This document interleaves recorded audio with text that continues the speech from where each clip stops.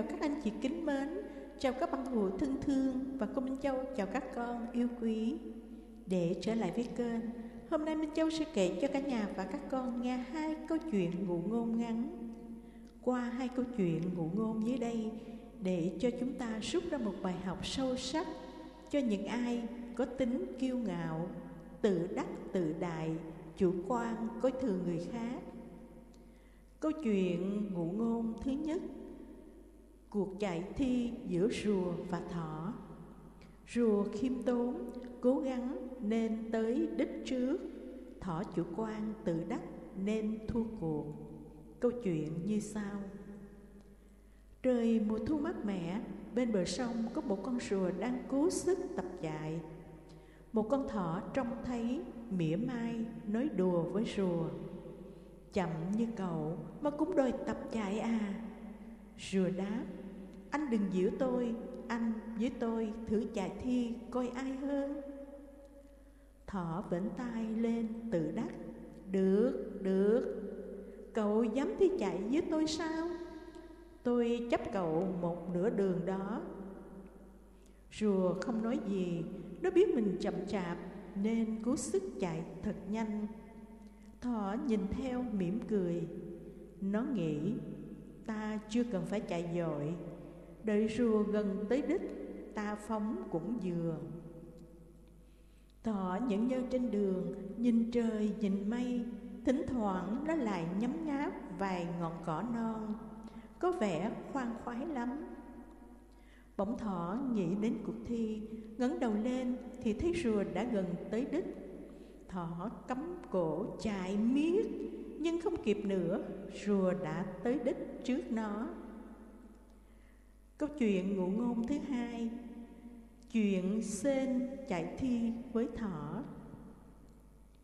Sên chạy thi với thỏ là chuyện ngụ ngôn thể hiện tinh thần đoàn kết, chung sức với nhau, đồng thời cũng là bài học cho những ai chủ quan, coi thường đối thủ.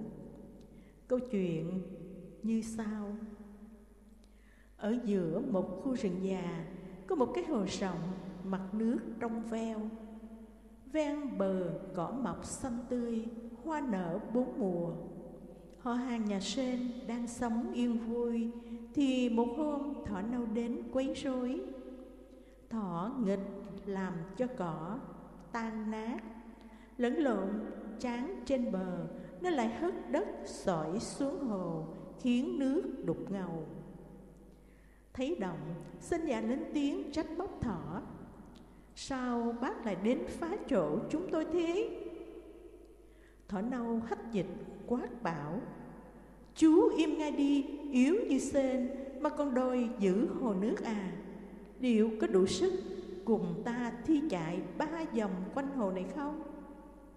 Thua thì đừng có hồng ở lại mảnh đất này nữa. Bị thỏ nâu coi thường, Sinh già tức lắm. Chợt sinh nghĩ ra một mẹo. Bèn thủng thỉnh đáp, Được, Bác đã thách Thì chúng tôi xin nhận vậy.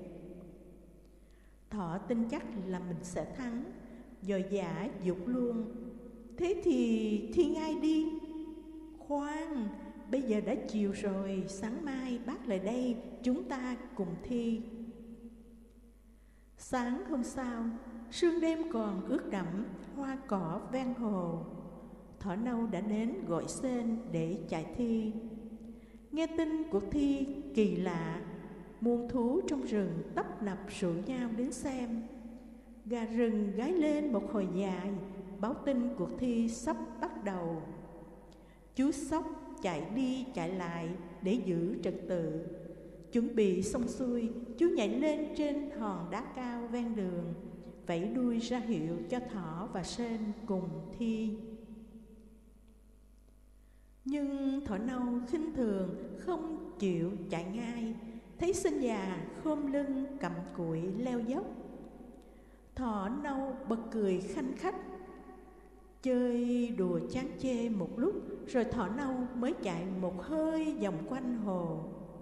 Nhìn trước, nhìn sau, Không thấy sen đâu Thỏ lên tiếng hỏi Sen đâu rồi? Thì ngay từ lùm cây trước mặt, Chú Sên chạy ra, Vẫy cái râu trả lời Sên đây rồi.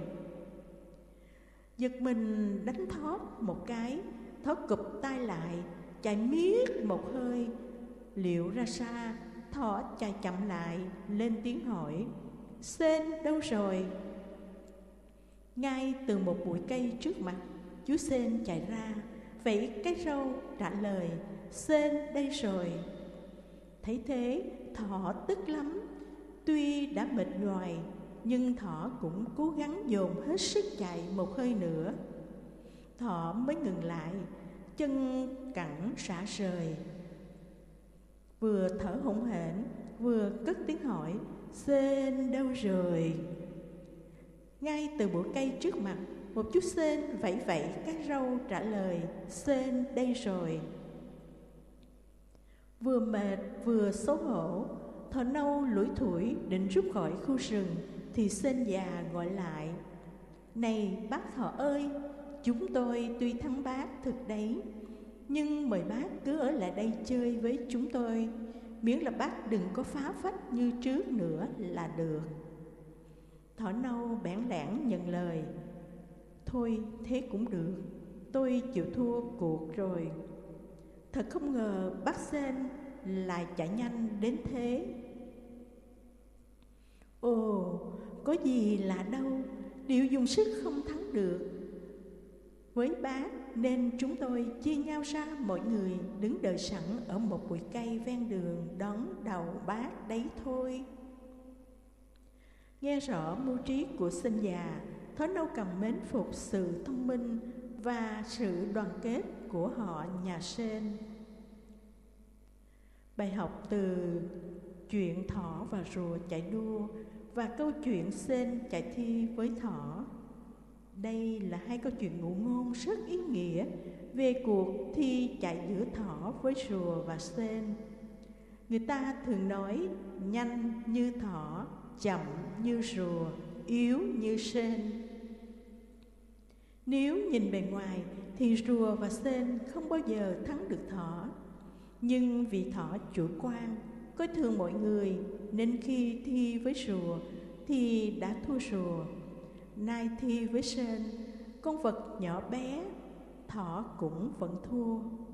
Bởi vậy câu chuyện cho chúng ta thấy chúng ta không nên kiêu ngạo chủ quan coi thường người khác kể cả những người yếu kém hơn mình hai câu chuyện ngụ ngôn thỏ và rùa chạy đua và Sên chạy thi với thỏ đến đây đã chấm dứt.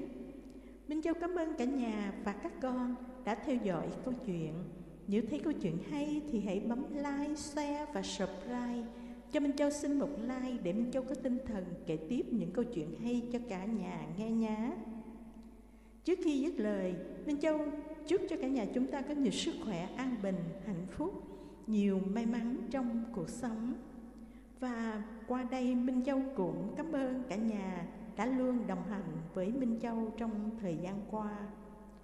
Ok, video của Minh Châu tới đây xin tạm dừng. Hẹn gặp lại video kế tiếp. Bye bye cả nhà.